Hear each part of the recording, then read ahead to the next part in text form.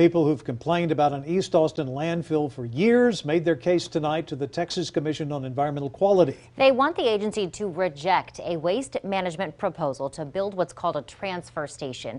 It would be located at the site off of Highway 290. As KXAN's Avery Travis explains, neighbors hoped the landfill would close when it reaches capacity, so the new plan took them by surprise.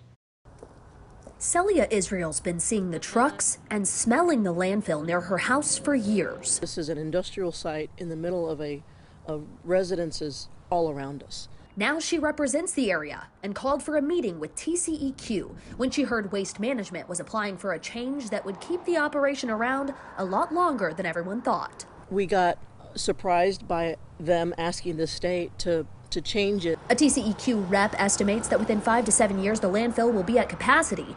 But if this transfer application is approved, it will continue to operate under its new purpose. Waste Management put out a statement explaining roughly six pounds of waste are generated each day in the area. The need to, quote, take out the trash will continue. They say the transfer station will allow them to do that.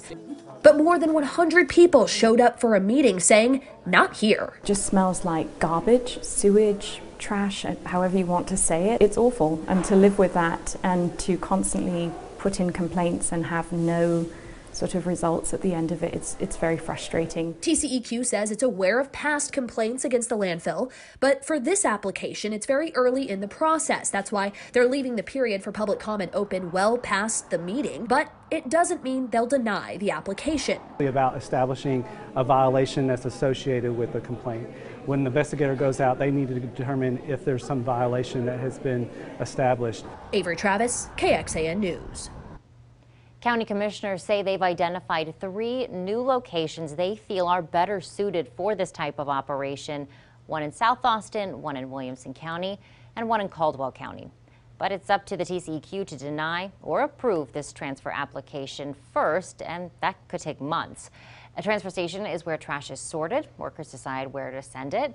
It's a way to cut costs. So we looked at EPA figures and it's cheaper to stop at a waste transfer station first when heading to landfills that are more than 35 miles out round trip. If you look at this map from the city of Austin, it shows only five active landfills. Those are in red.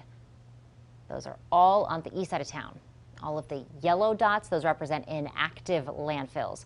With the city limits continuing to grow, companies are having to travel farther to ultimately dispose of their trash, and that means higher costs.